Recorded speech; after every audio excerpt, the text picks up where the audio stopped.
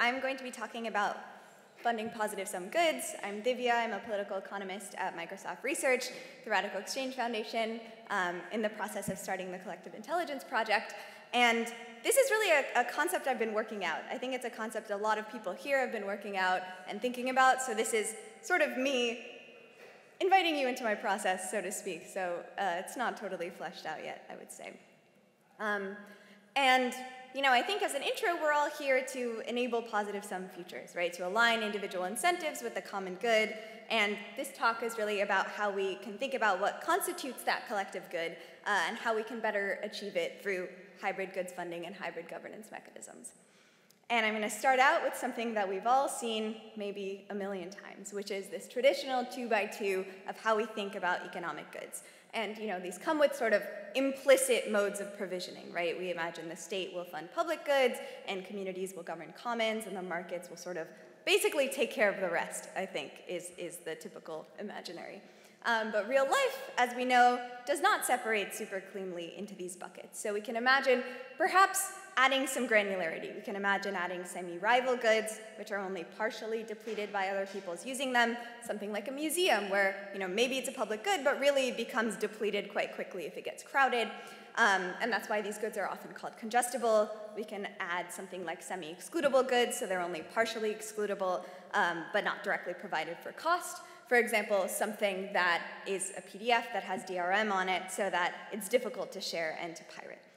And we can even imagine, you know, possibly extending this into something that's more of a continuum. We can go from sort of rivalry to non-rivalry as a, as a continuous sphere, and same with excludability, and maybe that gives us a little bit more granularity. We get a little bit closer to the truth in terms of really determining where different goods fall.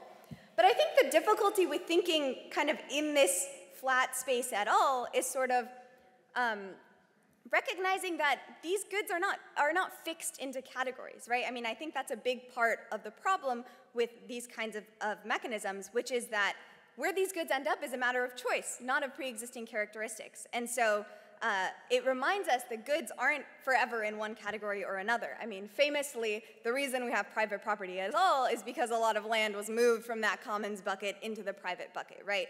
And in a lot of different ways, we can still do that for various types of goods that we might associate with one bucket or another. So the PDF we were talking about earlier, I mean, for that, excludability is a cost that we can choose to pay or not to pay. It's not that something is excludable by design, it's the fact that we are choosing to pay the money to make it excludable or not. So something like a children's playground, for example, we could easily make it excludable. You can build a wall around it, and you can have someone outside, and they can be collecting money for every kid that comes in, right? And we often don't choose to do that because socially, that's not the kind of world we want to create. And so there are certain things that we choose to pay the price for excludability on, and certain things that we don't.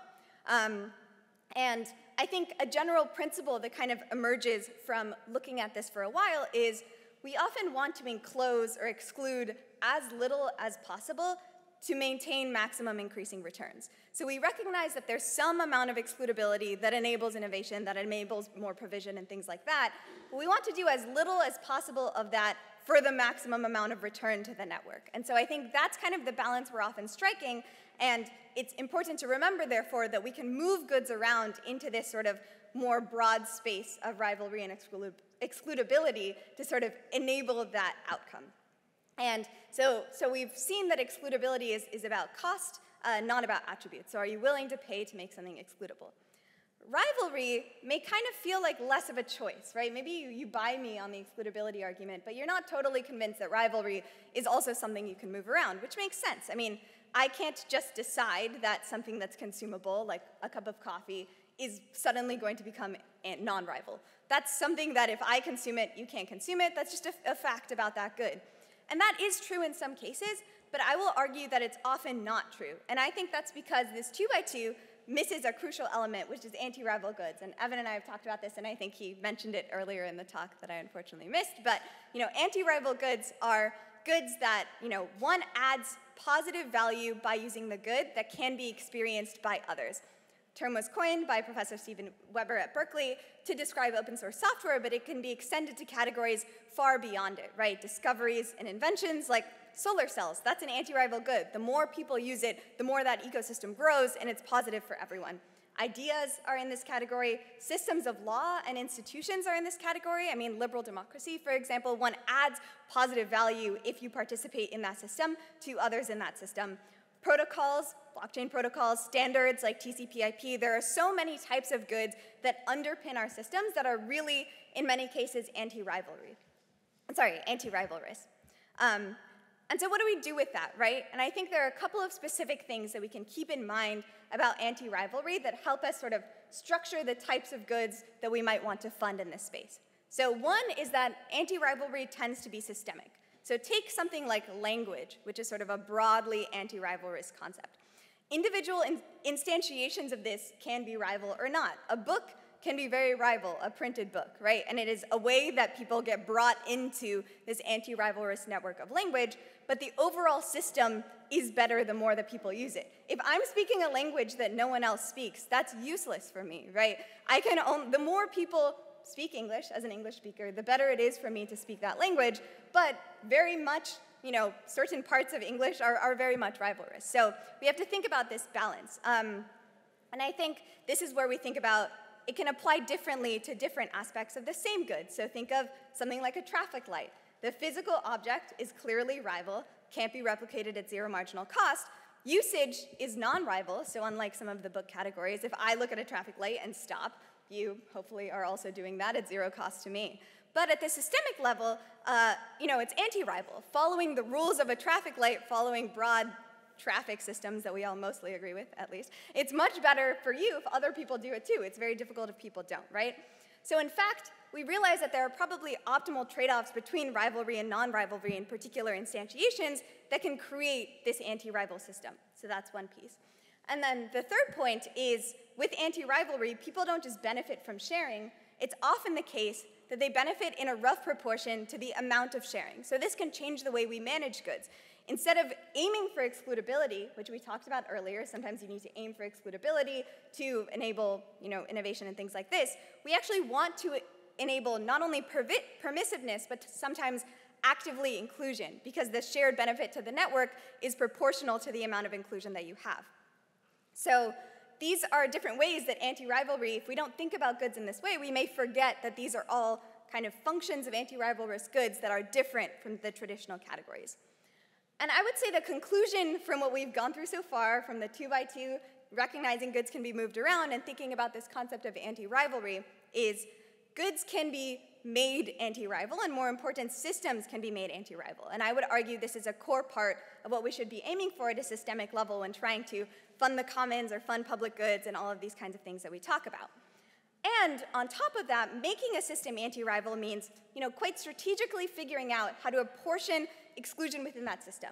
So an anti-rival ecosystem definitionally requires funding some rival goods, some excludable goods, um, with things like communication networks and scientific research and institutions. You need to fund some of those things to make the network possible. And if we do the right balance, we may get something like positive sum networks built off of these anti-rival goods.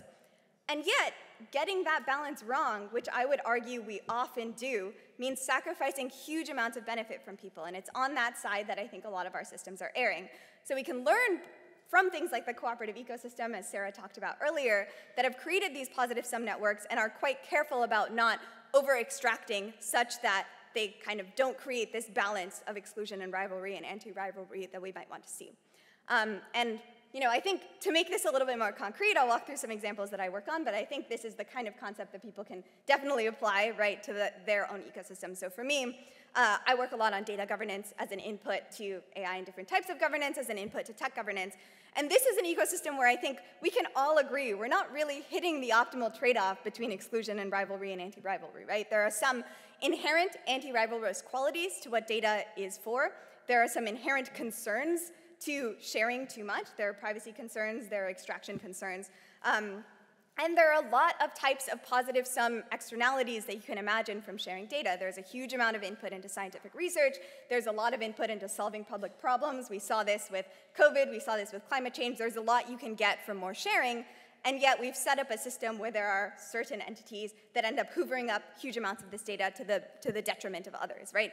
So we've we've taken a good that could be non-excludable and could be non-rival, we've made it excludable, which sometimes is good for privacy reasons, we've made it excludable only by a few people, and we've created an entire marketplace around preserving that excludability. So a bunch of what I work on is and this is a, a, picture from when I made less pretty slides for another presentation, but um, uh, you know, creating this kind of networked ecosystem of data cooperatives and coalitions to mediate basically some of these problems to make sure that we are have more of a hand in when we're excluding people from certain types of data, when we're creating networks, and when we're regulating that system as a whole, whether that is by platforms or by government. All of that comes into play in trying to create an anti-rival system.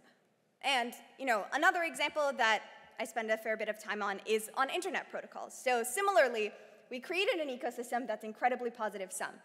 Existing internet protocols, HTTP, TCP IP, et cetera, they are some of the most directly positive sum networks that we currently have used to transfer information in this incredible global way.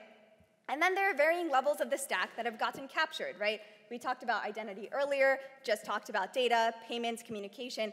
These are things that weren't a part of that positive sum network to begin with, and now have been captured by entities that provide them at high exclusion. And so we can imagine if instead we were able to build new protocols and standards that allowed for these types of things to be provided in a more anti-rivalrous way, then the positive sum externalities we could uh, enable would far outpace what is currently possible, even though what is currently possible is still positive sum. And so a lot of this is, is about balance. It's about figuring out who should fund these ecosystems and where they should be built.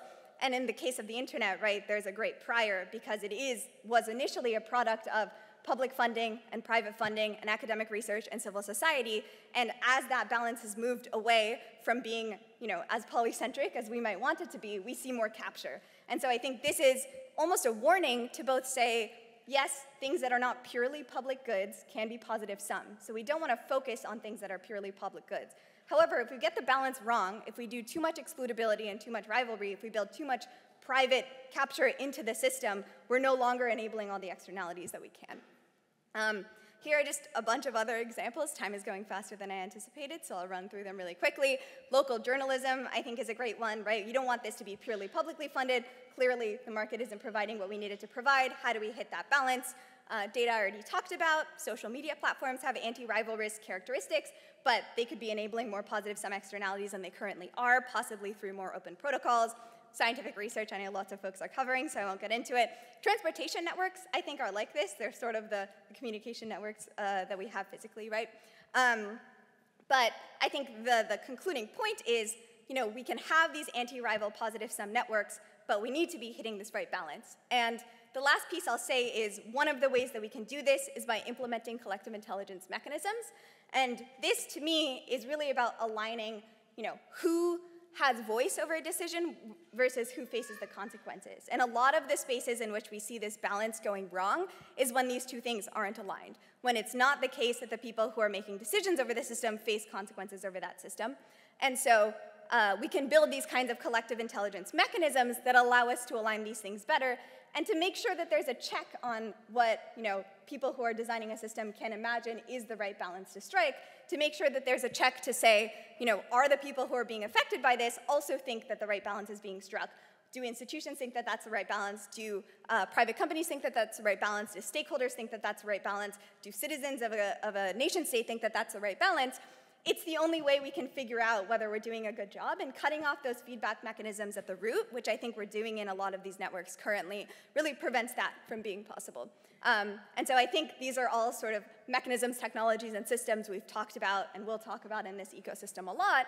But these are ways that we can create hybrid collective intelligence mechanisms that enable funding positive sum goods. If we're going to break the binary between public and private, which I think we should, I think we should think about these things as networks instead of certain goods that are public and good and certain things that are private and not, then we need these checks. And for public goods, that check often comes in the form of the state. The democratically accountable state ideally does this for us, right? Maybe it's not perfect, but it should do it. We no longer have those checks if it's just the people in, these, in this room kind of thinking about what would be positive externalities and what wouldn't be, and what would be the appropriate rate of capture and what wouldn't be. So I would urge us to sort of consistently go back to stakeholders and, and get a sense of if we're striking that right balance. Um, and that's that. This is my exhortation to you. Thank you.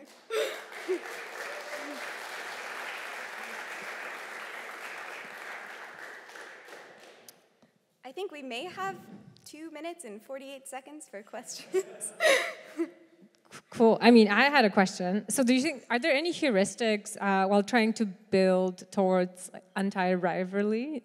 Sorry, I'm not mispronouncing it, but you know what I mean. Yeah, it's funny. Uh, I kept getting my uh, autocorrect to like antivirality when I try, which I think is um, yeah, Polish yeah, pronunciation. Sorry. Appropriate in the age of the pandemic, which we need to capture with anti-rivalrous goods. But anyway. Um, yeah, so, I think there are definitely ways to measure network effects, right? There are ways to measure externalities that we've already talked about. If we think about something like carbon markets, for example, I mean, they, the idea there is you try to measure a type of externality that we haven't previously measured. I think that type uh, of accounting can be taken in other spaces. One thing that I've advocated before is um, like labor market externality capture. Like, can we figure out if a technology is having positive effects on the labor market or not? Mm. And is that something that you can price in and sort of create these collective intelligence mechanisms around? So I think in that way, we have some of the underlying mechanisms that can do that, but we need to be using them to capture different types of externalities than we currently do because a lot of what we want to capture is not priced in. Mm -hmm. Cool. One more question. Thank you. That was that was really great. Um, so yeah, we talk a lot about DAOs, we talk a lot about crypto economic systems, um, and I really love the point that you made about uh, kind of blurring the line or introducing a continuum from public versus private. And we've seen this in traditional business entity structures, right? From for-profit, nonprofit. Now in the middle you have public benefit, right? And there's only, what, like 3,000 public benefit corporations uh, right now, I think, uh, last time I checked. So, you know, what, what I would really be interested in are, do you have any kind of thoughts or maybe suggestions or directions as to how we could, you know, from the ground up, from a governance using, you know, Web Zero technology to embed maybe certain governance mechanisms or business entity structures to be anti-rivalrous from, from the beginning, right? Yeah, definitely. I mean, I think there's a lot of interesting work happening here. I work with the Exit to Community network that kind of tries to do this, right? How do we have some community ownership built into companies from the beginning so that they can start including these collective intelligence mechanisms. Gitcoin, I know, is speaking next. I don't see Scott here, but um, you know, I think that they, their model is a great example of what this could possibly look like. And I think this is where mechanisms come into play, because if you can set up, and mechanisms don't just have to be technology. I mean, legal trust, purpose trust, there's an organization called Purpose that works on this. Um, if you can set in different types of outcomes that you're optimizing for into a charter early, right, then you, that is the same as having some sort of technological mechanism that holds you to capturing externalities, for example. So I think both on the tech side and on the legal side, there are lots of different kind of adjustments in corporate governance structure that can get to this point. And some of that means public pressure as well. Like some of that means now we care about whether a company is carbon neutral or not. That's the kind of thing that we could expand a lot into the different types of positive sum things that we can imagine companies could do. Cool, awesome. And I think that's kind of the pretty much. Is there one more question? One more quick question? If not, that's the time we have. Thank you so much, Divya. This was you. awesome.